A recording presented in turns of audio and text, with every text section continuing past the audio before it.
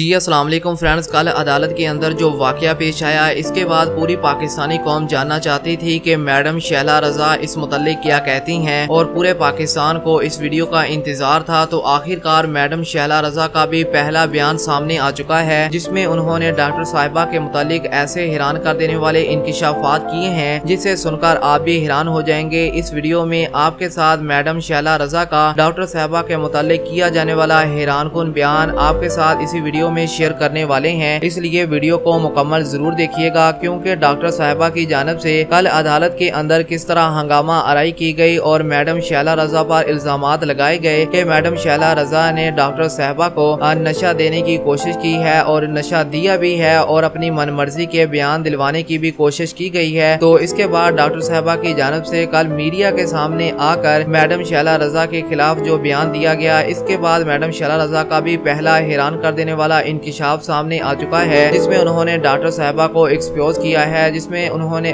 बाकायदा फ़ोन के, अपना फ़ोन भी चेक करवाया है, जिसमें डॉक्टर साहबा, मैडम शैला रजा को बाकायदा कॉलिंग कर रही थी मैसेज कर रही थी, मैडम शैला रजा को बाकायदा धमकियाँ देने की भी कोशिश की गई, और इसके साथ जब मैडम शैला रजा ने कोई भी जवाब नहीं दिया तो इसके बाद डॉक्टर साहबा की जानब से मीडिया के सामने आकर मैडम शैला रजा के खिलाफ जो स्टेटमेंट दी गई, उसके मुतालिक हम ऑलरेडी भी आपके साथ शेयर कर चुके हैं। जब मैडम शाला रजा की जानब से डॉक्टर साहबा के मुतालिक हेल्थ सेक्रेटरी से बात की गई तो हेल्थ सेक्रेटरी का कहना था कि हमारी ये डॉक्टर तो खुद मेंटली अपसेट है और अभी तो इसको खुद इलाज करवाने की ज़रूरत है और जहनी तौर पर इसकी कंडीशन भी ठीक नहीं है और उन्होंने ये भी बताया कि ये डॉक्टर साहबा पहले अब वाल, बच्ची के वालदेन के घर पर गई हैं और वहाँ पर जाकर भी इन्होंने इसी तरह से हंगामा आरई की है और इसके बाद वो वकील जबरान नासर साहब के घर पर भी गई और वहाँ पर भी उन्होंने इसी तरह से हंगामा आरई की है।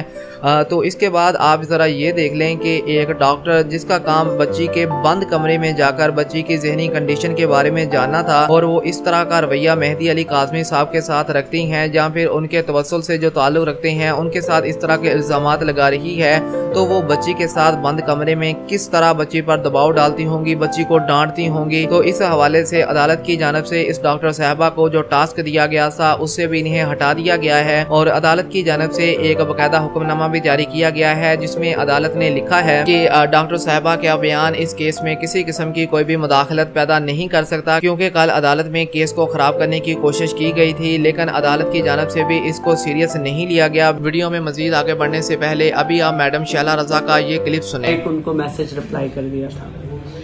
तो मुझे मैसेज जब आया तो मैंने कहा भाई देखूँ मैं कि ये लड़की क्या कह रही है। तो मैं बिल्कुल ही हैरान रह गई कि मैंने उसे धमकियाँ दी हैं। और मैंने उसको क्या कहा उसने कि वो दुआ से मिलने गई तो मैंने जहर दिया। तो चाइल्ड प्रोटेक्शन यूनिट मेरी मिनिस्ट्री के अंडर नहीं आता है ये सोशल वेलफेयर में आता है। और जहाँ तक मुझे याद है कि दुआ जहरा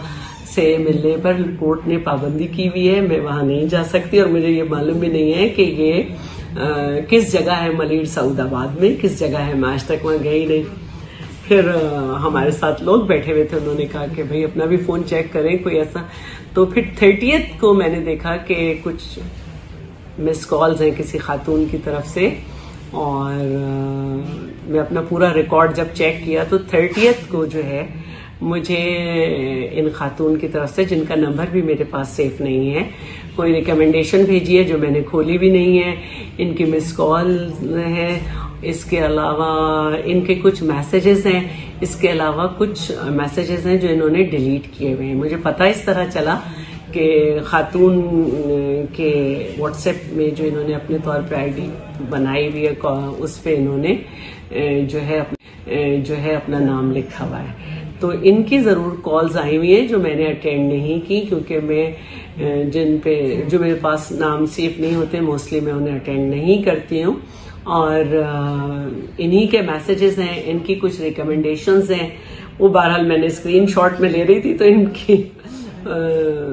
डायल भी लग गया डायल पे मेरा उंगली टच हो गई थी, वो मैंने फिर काट दिया।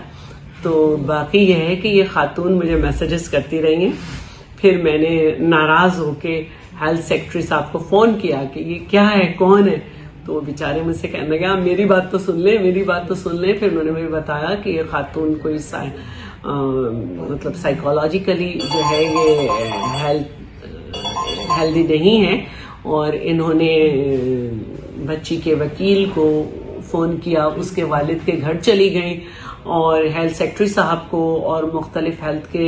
ऑफिसर्स को इन्होंने बहुत सारे मैसेजेस किए हुए हैं और कल ही इनकी जो है ये सारी तो जी फ्रेंड्स अभी आपने मैडम शाला रजा का ये क्लिप भी सुना है, जिसमें उन्होंने डॉक्टर साहबा ने जो उन पर इल्ज़ाम लगाए थे, और डॉक्टर साहबा को उन्होंने बुरी तरह से बेनकाब भी किया है। और इस हवाले से जहीर गैंग की जानब से कल खुशियाँ मनाई जा रही थी, और कल पहली बार जहीर के वकील भी मीडिया के सामने बात कर रहे थे, और उन्होंने भी इस बात का फ़ायदा उठाने की कोशिश की, जो कि कल डॉक्टर साहबा ने बयान दिया था, जिसमें उनका कहना था कि बच्ची की उम्र तो 16 से 17 साल आई है, लेकिन ट्रायल कोर्ट हमारी बात ही नहीं सुन रही तो उस बात नहीं सुनेगी तो बाकायदा फैसला फिर कैसे होगा? तो उसके बाद कल जहीर गैंग की जानब से किस तरह खुशियाँ मनाई गई, किस तरह इनके सोशल मीडिया सेल की जानब से प्रोपेगंडे किए गए, वो हम सब जानते हैं, और आखिरकार अल्लाह पाक की मदद मेहदी अली काजमी साहब के साथ है। मेहदी अली काजमी साहब कल भी अदालत के अंदर जब पहले आए तो वो हंस रहे थे, और उनके चेहरे पर एक मुस्कुराहट थी, क्योंकि